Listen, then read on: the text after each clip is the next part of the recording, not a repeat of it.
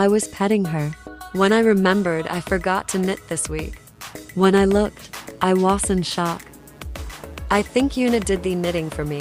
Best cat ever. See you next week.